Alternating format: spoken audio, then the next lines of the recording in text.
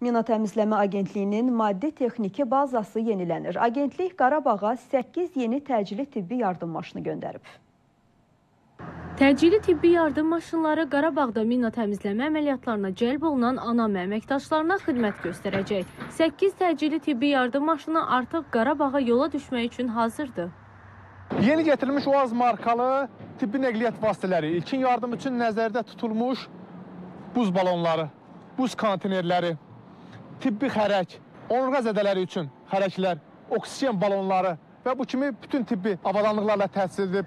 Bundan başqa ambulansların salonlarının təchizat səviyyəsi xəsarət alanlara bütün lazımi ilkin və tibbi yardımların göstərilməsinə imkan yaradacaq. Növbəti iki təcili tibbi yardım maşını isə oktyabrın 20-sinə kimi Qarabağa göndəriləcək. Rəşad Vəkiloğlu, Namiq Ağayev, Zümrüd Ağabəy, Space xəbər.